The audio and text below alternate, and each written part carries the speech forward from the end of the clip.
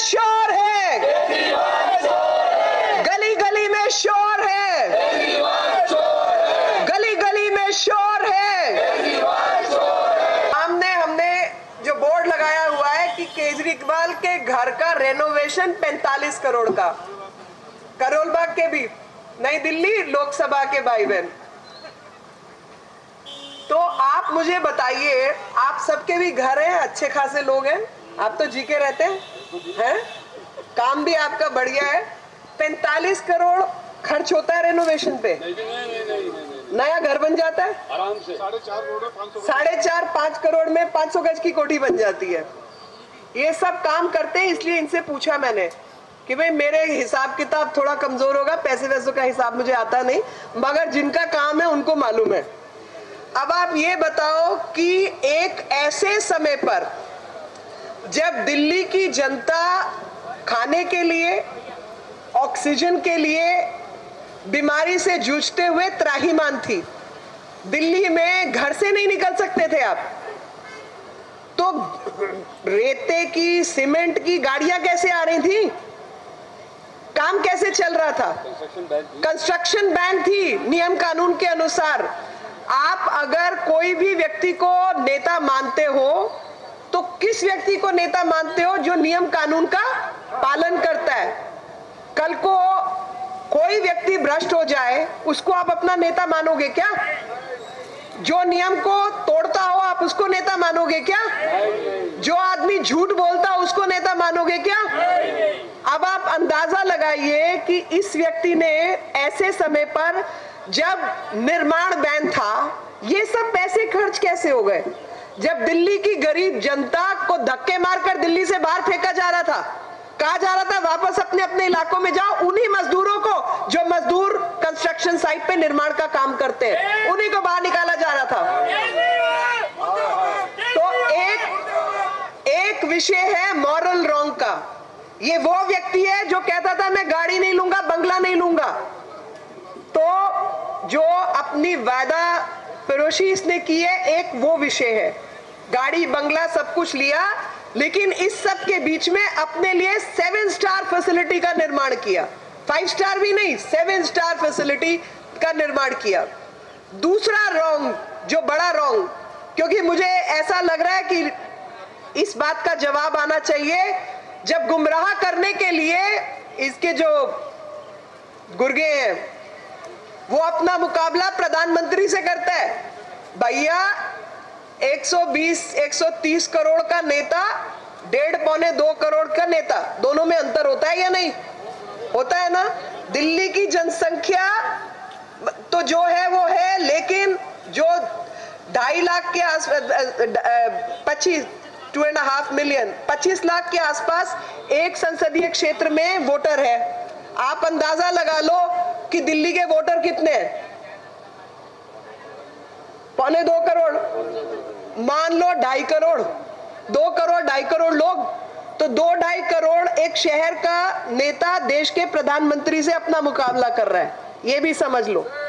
दूसरा दूसरा, जब ये अन्य लोगों की बात करता है तो ये भूल जाता है कि कोई भी सरकारी काम नियम कानून के हिसाब से होता है। सड़क बनेगी, दस लाख रुपया खर्च होगा, पचास लाख रुपया खर्च होगा, टेंडर होता है या नहीं? ये भाई साहब ने अपना 45 करोड़ मेरा आपका खर्च दिया बिना टेंडर के। सोच रहे हो? बिना टेंडर के कोई टेंडर नहीं किया है। समझ आई बात? घपला घोटाला समझो इसका। घपला घोटाला है कि 45 करोड़ रुपया। 45 करोड़ रुपए का एक पूरा टेंडर जाता मार्केट में फ्लोट होता। लोएस्ट बिडर को टेंडर की मिलती। मान लो 45 करोड़ के टेंडर में अभी रविंदर जी ने और शारदा जी ने मुझे बताया कि ये तो साढ़े चार, पाँच करोड़ में बन जाता मकान। तो मैं कह रही हूँ, मान लो कोई और चुस्त होता, इनमें से ही कोई होता तो कहता हम दस करोड़ में बना देंगे, पाँच करोड़ का फिर फ़ायदा ले जाते। है नहीं? पैंतालीस करोड़ में तो फिर बच जाता। आप समझो कि इसने क्या किया है?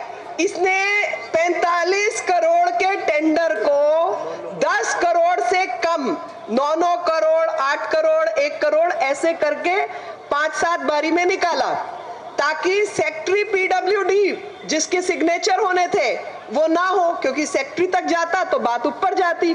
तो सेक्रेटरी तक ना जाए नीचे नीचे काम हो जाए तो इन्होंने वो 10 करोड़ के जो नीचे की संख्या में चार पाँच बार में पैसे बाहर किए। दूसरा क्या किया? ये जिस इलाके की बात है, ये लट्टियंस डेली जैसा इलाका है। यहाँ पर ईट भी नहीं लगा सकते आप। ईट भी परमिशन के बिना नहीं लगती यहाँ पर। तो मास्टर प्लान 2021 के मुताबिक यहाँ पर आप कुछ निर्माण का कार्य नहीं कर सकते। इन्होंने निर्माण किया। तो मास्टर प्लान 2021 का उल्लंघन किया। डीयूएसी की परमिशन लेनी चाहिए थी। उनके नियम है, उनके कानून है। इन्होंने डीयूएसी की परमिशन नहीं ली तो इन्होंने नियम कानून का उल्लंघन किया। पेड़ काटने में ठीक टेंडर वाला धंधा किया। जैसे 45 करोड़ के टेंडर को चार पाँच जगह में विभाजित किया, ऐसे ही पेड़ की जो परमिशन होती है, अगर 10 पेड़ से ऊपर की परमिशन है, वो ऊपर वाले अधिकारी के पास जाती है। तो इन्होंने क्या 420 की? नौ की परमिशन ली। दो की परमिशन ली छ छ की परमिशन ली, पाँच की परमिशन ली, ताकि ऊपर के अधिकारी के पास कागज़ ही ना जाए, किसी को कानो कान खबर ही ना हो कि क्या धंधा चल रहा है। और जहाँ भी पेड़ कटता है, उसके एवज में आपको अंडरटेकिंग देनी होती है, एक पेड़ के बदले पाँच पेड़ लगाने होते हैं। इन्होंने, इनके ऊपर जो लाइबिलिटी थी 260 पेड़ लगाने की हुई। 260 पेड़ लगाने की यही बगल में जगह है मेटकाफ हाउस पता है ना सबको? डीआरडीओ वाला। तो डीआरडीओ वाली जगह पे इनको 260 पेड़ लगाने थे। इन्होंने तिरासी पेड़ लगाए, एक सौ सड़सठ वाली पिट खाली है। वहाँ एक भी पेड़ नहीं है।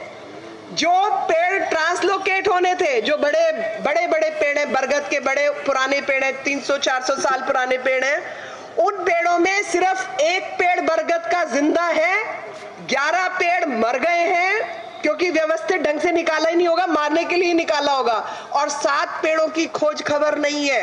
यानी साढ़े पेड़ जो ट्रांसलोकेट होने थे, उनको भी मारा गया। ये है दिल्ली का मुख्यमंत्री, जो जो नियम कानून को, नियम कानून को ताक पे रखता है। ये भी नियम है फाइनेंस डिपार्टमेंट का। 20 लाख से ऊपर फर्निशिंग्स के ऊपर और जो सोफा गद्दी कुर्सी खरीदनी है 20 लाख से ऊपर नहीं हो सकता। उसकी स्पेशल परमिशन होती है। इन्होंने वो भी नहीं घोषित किया। उसकी वायलेशन में काम किया। वहाँ भी धंधा पानी हाँ? घोटाला वो भी घोटाला। उसके अलावा जो इनकी वो इंटीरियर डेकोरेटर है इंटीरियर डेकोरेटर को फ़ीस एक करोड़ रुपया दी है भाई। और इंटीरियर डेकोरेटर कौन है? सीतानंदा। सीतानंदा के ऊपर 2022 में इनकम टैक्स की रेट पड़ी है। तो भ्रष्टाचार वाले लोग भ्रष्टाचारियों के साथ ही मिलजुल कर काम कर रहे हैं।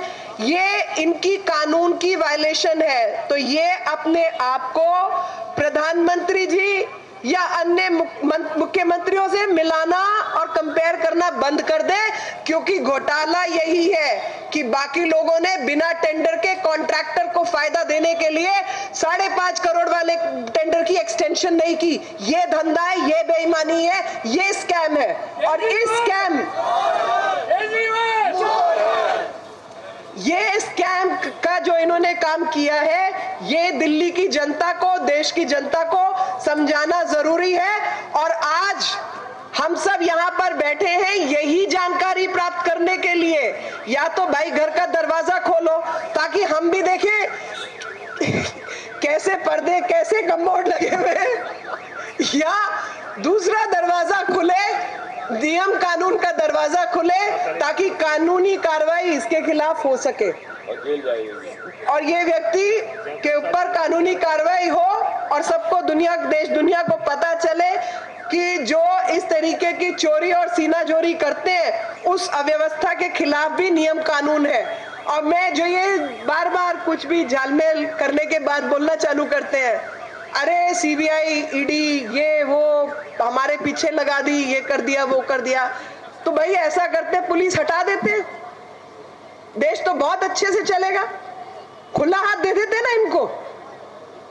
सीबीआई वालों को घर भेज देते हैं कि भाई, तुम सीबीआई वाले कोई काम मत करो। या तो केजरीवाल की पार्टी में शामिल हो जाओ, या घर बैठो। क्योंकि देश के नियम कानून की तो कोई औकात नहीं है। ईडी को बोलते हैं, तू भाई, जो देश के बाहर पैसा लेके जा रहे हैं, चोरी चकारी कर रहे हैं, जाने दो। देश की जनता तो मूर्ख है, उसको तो पैसा ले जाने में कोई फ़ायदा नहीं है। तो भाई, अपने देश को अपना देश बनाए रखना है या पाकिस्तान की कगार पे लाके खड़ा करना है? ये सब व्यवस्थाएँ, इसी देश के नियम कानून का, कानून व्यवस्था जो है, वो संविधान के तहत बनी हुई व्यवस्थाएँ हैं। और जिनको देश के कानून की पहचान नहीं है, पता नहीं है तो मैं उनको थोड़ा सा ज्ञान बांट देती हूँ। लेकिन जो खुद असंवैधानिक काम करते हैं गैर कानूनी काम करते हैं, वो संविधान की व्याख्या ना दे तो बेहतर है। और इस सब का मुकाबला करने के लिए हम सब यहाँ पर बैठे हैं। और देश दुनिया को बताने के लिए कि किस किस तरीके से इन्होंने स्कैम किया है, इनके खिलाफ कार्रवाई होनी चाहिए। उस कार्रवाई की ही हम मांग करते हैं। जो लेफ्टिनेंट गवर्नर को धमकी देते हैं कि ये संविधान के खिलाफ है, उन्हें पता हो कि जो काम तुमने किया है तो तुम तो पूरे पे पूरे असंवैधानिक लोग हो गैर कानूनी काम के अलावा कोई काम नहीं जानते। और हर एक नेता इनका किसी ना किसी तरीके से इन सब चीज़ों में उलझा हुआ है, बचाने में या करने में। दो जेल में बाकी की तैयारी